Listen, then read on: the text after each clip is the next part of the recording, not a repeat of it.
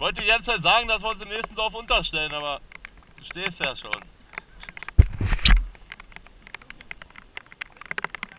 Kannst vergessen.